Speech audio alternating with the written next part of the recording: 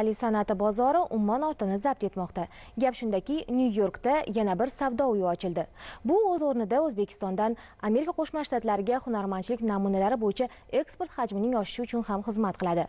Qolaversa, mutaxassislar fikriga ko'ra, bu kabi savdo manzillari amerikalik sayyohlar uchun O'zbekistonning jozibadorligini ko'rsatish bilan birga nafaqat iqtisodiy, balki madaniy aloqalar va jamoat diplomatiyasini mustahkamlashi bilan ham ahamiyatli bo'ladi.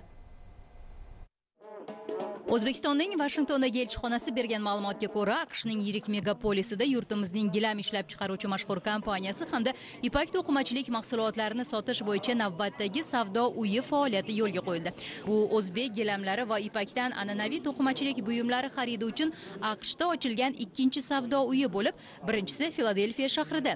Savdo uyini ko'zdan kechirgan mehmonlar mahsulotlarning nozik va nafis rang barangligini yuqori baholadilar. Ya'ni ularning aytishicha ustalar yaratgan asarlarda boy tarix aks etgan bo'lsa matolar tabiiyligi bilan alohida e'tiborga loyiq. Sifat jihatdan yuqori talabga ega va raqobatbardosh. Nyu yorkda yiliga ikki marotaba an'anaviy nyu york now xalqaro to'qimachilik ko'rgazmasi bo'lib o'tadi. Saksondan ortiq davlatni qamrab olgan tadbirning o'zbekiston ham mana bir necha yildirki doimiy ishtirokchisiga aylangan.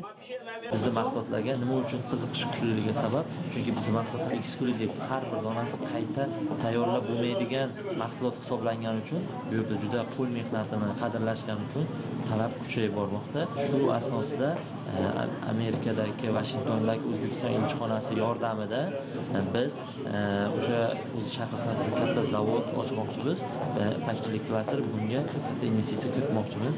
Hozirgi vaqtda filadelfiya va nyu yorkdagi savdo uylari uchun o'zbekistondan yetkazib berilgan tovarlar umumiy hajmi 32 tonnani tashkil etadi. Bu qariyb 300 ming aqsh dollariga teng bo'lib yana qo'shimcha ravishda 350 ming dollarlik mahsulot jo'natildi demak bu kabi hamkorlik nafaqat iqtisodiy jihatdan ya'ni eksport hajmini oshirish balki madaniyat va an'analarni amerikaliklar orasida ommalashtirishga ham xizmat qiladi.